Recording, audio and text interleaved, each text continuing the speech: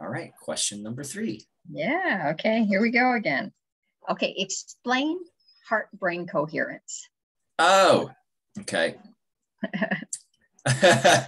well, you can, Rollin McCraty does is the lead researcher on that at HeartMath Institute, and um, obviously he's the expert and pioneer. And you and you actually worked there, right? Or you? No, no, no. I never worked there. I was working in collaboration while I was at the university, and I was close at a project, and then I ended up having to move on from there. Um, but uh, I know Rollin as an acquaintance, and he's a very great person. And oh, he's, he, yeah, I looked into it, so I can paraphrase it. But for Perfect. all the audiences out there who want the true science, HeartMath has a great uh, book um, that you can freely download at their website that explains some of the more seminal studies and how all that works.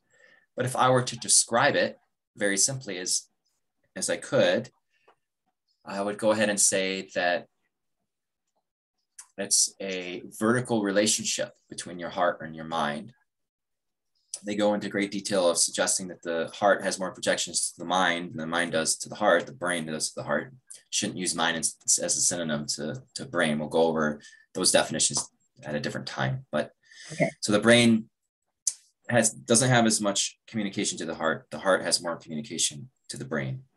And suggesting that the physiology is supposed to be actually heading from the heart to the brain based on the structure of the neuro, neurological pathways. And there's a neurological brain they call there's different types of brains. You have gut brain heart brain brain brain.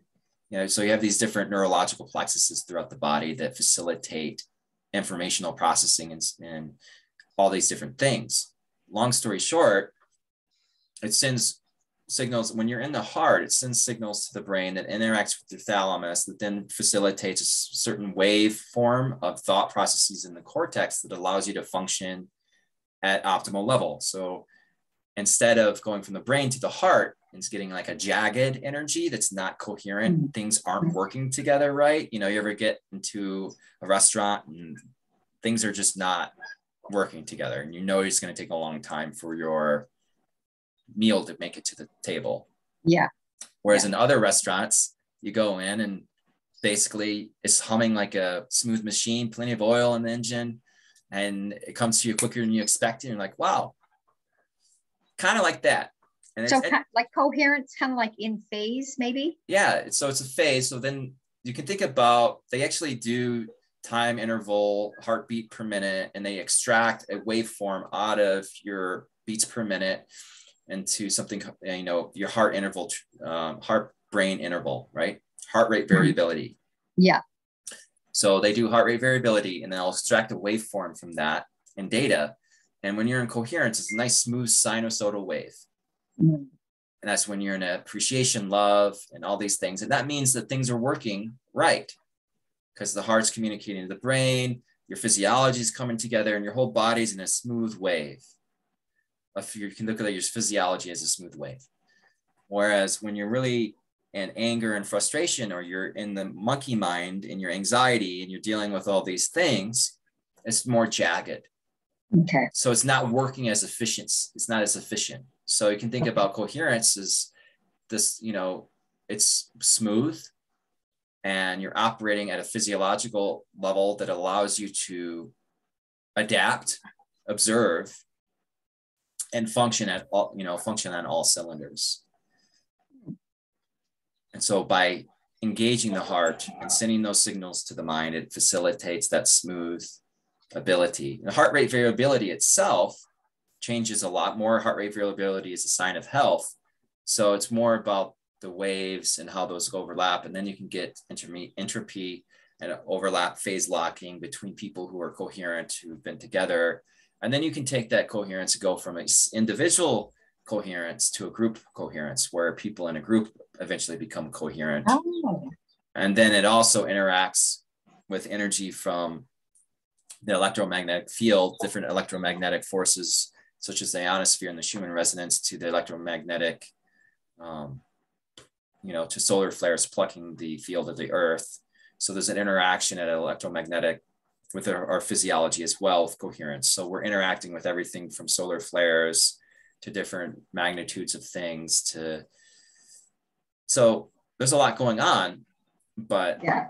but it allows you just to understand that that's what it is. It's this going from the heart to the mind. Okay. And there's um and there's a way to practice that to make that work for you, correct? Yeah. Okay. yeah, I think HeartMath has uh, many great te- technologies available. Something you can, an app you can plug into your phone, and then you just get like an ear clip thing, and you can practice, and it will tell you how to get better and teach you how to be better at facilitating that connection from the heart to the mind and being in a coherent state physiologically as a, as a way to optimize your, your physiology and interaction with the world you're interacting with. Yeah. Is there a way to do it without getting their um, app and and device?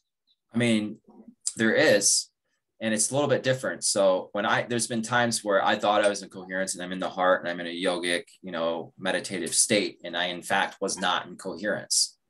So Mm. it's a little bit different than you would expect. So uh, you might want to look into what that means to you and what approach you'd like to take. got it. but but obviously when you're in a meditative state and you're full of love and and you're in the present moment and that it, that's going to facilitate heart brain coherence and it really um, allows you to fine tune techniques to be in coherence in a way that makes sense to you and your physiology too. So by monitoring yourself you'll be able to have a better idea. There are other ways. There's plenty of other ways to do it by hugging your mother by being in a state of love, by being in the present moment and enjoying nature, by seeing the divinity within another person, by realizing you're not separate from another person and you need to treat that person as as you would treat yourself. Sometimes you treat even other people better than you would treat yourself. So then by treating yourself with as much love as you would treat others. Um, these are just simple approaches to life, but it's all about that frequency. And one of the things they teach you is to be in a state of love, compassion, appreciation. And that's good for your physiology. So Hmm. being alone, Okay, so when you mentioned, yeah. yeah, when you mentioned uh, a group being in coherence with each other, Mhm. are they sharing something in common? Is that what's going on? Well, there, there was a thought that there may you may actually need them to biologically have exchange of their biofield, their electromagnetic field of their body that's produced by the heart.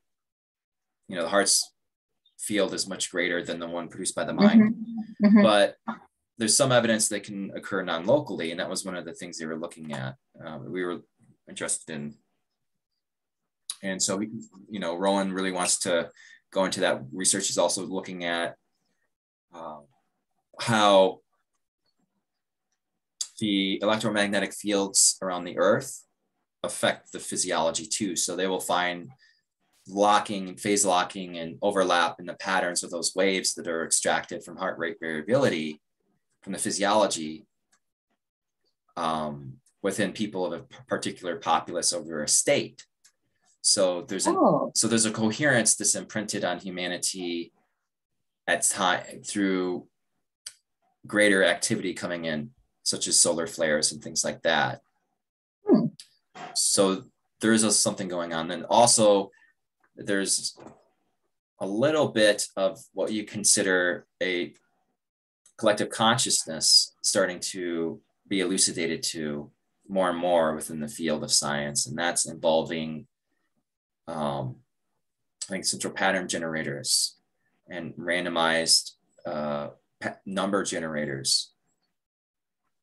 And so they're actually looking at that as well. So these are all interesting things that the HeartMath has taken. They've actually taken over that Wow. project. Yeah, they're also looking at you know trees and electrical potentials and heart you know coherence with trees and our relationship with them there. But as a group level, there's many dynamics you can have. You can have an overlap of the, of the biofield, of the electromagnetic biofield that facilitates entrainment. That's one theory. You can also have a collective that you're tapping into that facilitates at a consciousness level, a quantum consciousness field level, let's say, talked about the field. That Mhm. field's gonna that field's gonna affect your physiology as well. and that's not necessarily measurable to the extent that we would that scientists would like at this time yeah and then you have the you know the galactic electromagnetic stuff going on as well and there's some evidence that can happen non-locally which means that you don't have to be in the same spot to become entrained and coherent. It can happen with uh, bonded pairs who've been together a long time. Their physiology can be entrained in, even if they're not in the same area. Wow. Yeah.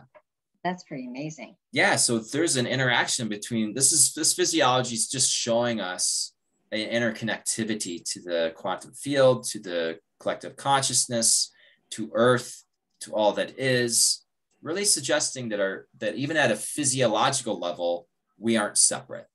Yeah. So that's the thing is we're now looking at science as a tool and now science is starting starting to assist humanity in understanding we aren't separate entities we're all interconnected we all have a responsibility for our own reality for our own life and what's happening to us. And sometimes it's hard to take responsibility. Sometimes we have to really take a close look at things. And but it's also a time where you you can take that responsibility and it leads to empowerment it leads to autonomy mm-hmm. and it leads to growth and health. Yeah. Yeah. So by accepting that responsibility you then transcend into a stage where wait a minute i can do this because you've accepted that responsibility. Now that's when the changes occur. That's when your life starts to change. And that's when you interact in the field in a different way. And that's when you quit taking a victim making yourself a victim. You get out of the victimizer mentality and more of a victor. Yeah. You know that's yeah. the important using interacting with the universe. Yep so, instead of life is happening to, to, me yeah life is happening through me yeah it's, yeah it's happening through yeah. you yeah. So wow, that's pretty cool. I yeah, want to use this there. heart. I want to put this heart math stuff on and go hug a tree and see what that registers. You should look into the tree research. That would be good. I think. Yeah. You know, I don't think the institute's too far away from you, actually. So be, where where are they located?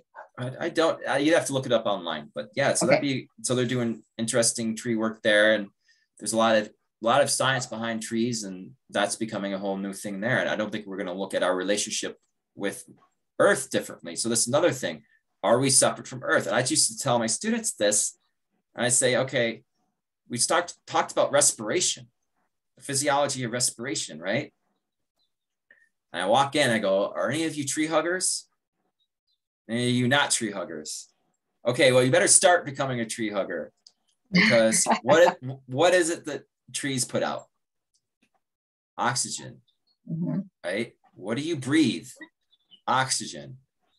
What do trees breathe, quote unquote? What do they what do they use in their phys- their photosynthesis process? CO, CO2. CO2 right? And what do yeah. we put out? CO2. Mm-hmm. So you have that direct relationship there. Yeah. That direct relationship. And, yeah. and so at a physiological level, you should be a tree hugger. Yeah. Oh, good. Before yeah. my time. yeah, before your time. the Schumann resonance. That's the the resonance of the Earth, right? It's a electromagnetic field or zone that's between here and the ionosphere. So it's it wraps around. Yeah, it wraps. So it's uh the it's basically kind of between the Earth's surface and the atmosphere. It's an oh, electromagnetic oh, okay. force, and that's a little bit different than the electromagnetic field of the Earth. The electromagnetic field of the Earth is around it in a way, and that's what gets plucked by solar flares. So you have these two different electromagnetic indices, so to speak. You have the okay. electromagnetic field around the Earth, and then you have the ionosphere that's just more towards the surface. And that can communicate at different levels if it's the right frequency. If it's too short, too long, it will hit the Earth and come up in the ionosphere, and it won't actually wrap all the way around the Earth but when it does wrap all the way around the Earth, um, then you can get a resonance where there's an overlap between these frequencies, and that creates a, a frequency of electromagnetic force. And then um, that people measure that for indices of consciousness. But Rollin would suggest that you really don't want the the Schumann resonance to change all that much, but a lot of spiritual people measure and, and track it at times of high electromagnetic activity when they're feeling a particular way. Mm-hmm. That's what I've read. Yeah. Mm-hmm. Yeah. yeah. Okay, that makes sense. Wow. Yeah. That was pretty. That was pretty intense for a short little question. yeah, little bit much. So we can try to simple. No, no. I mean, it, it needed it. I, yeah. I just didn't know how much it needed it. Yeah. Wow, but that's I, pretty good. I just wanted to bring that relationship in. I think that relationship to to us at a physiological level and what it is is yeah. basically showing us, if we could summarize it, that we're not separate. Right? Yeah. That we we can really tap in. And what's so interesting is science is getting closer and closer to showing us that, to proving us. Yeah. Yeah. And quantum, yeah. all of it. Yeah. Yeah. So it's really on the forefront. Yeah. Amazing. Yeah, it's beautiful stuff. Yeah. Well, thank you, Jordan. That You're welcome. Awesome.